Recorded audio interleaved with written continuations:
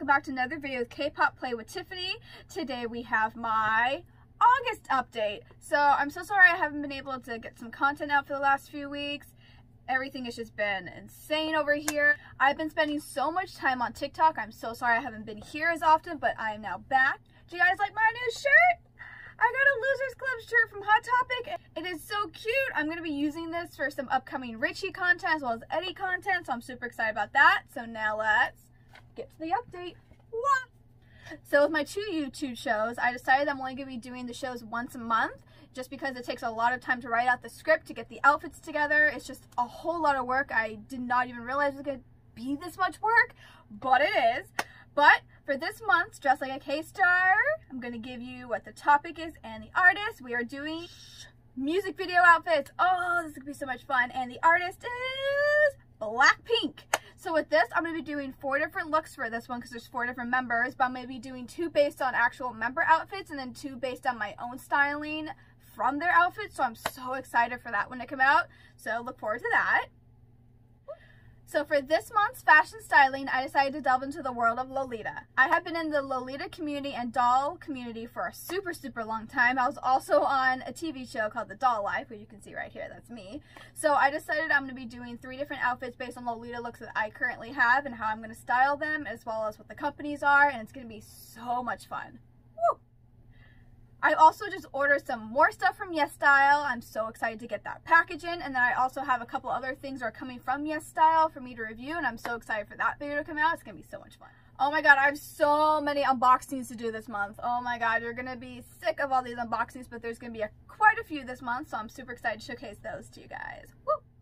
At the end of every single month, I'm going to be doing a K-pop random dance video, and I'm super excited to be doing that. It's going to be going on live, and I'm going to be taking either videos that I've seen on YouTube that I like with their compilations, or I'm going to be doing my own compilations. So I'm going to be doing that, and I hope people can join with me and get some exercise now once a month, so it's going to be so much fun. So look forward to the end of the month. Whoop!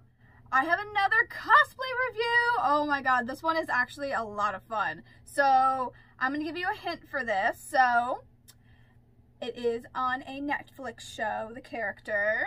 They just had their second season, and that's all I'm to say. That's all I'm to say. So I'm super excited for that video to come out. This month, I'm also be doing my first cosplay company review, and it's to be on my favorite company ever, and it's called Miccostumes. I've gotten so many costumes from them, and I'm to be showing you a couple of my favorite costumes I got from them, and I'm also to be reviewing them as well, so that's to be a lot of fun. So, BTS Armor, we all know that BTS has a new music video coming out as well as a song called Dynamite. So when that music video comes out, I'm going to be doing a react video right when it comes out. So I'm so excited for that. I'm going to stay up so late, but it's totally worth it. So that's going to be a lot of fun.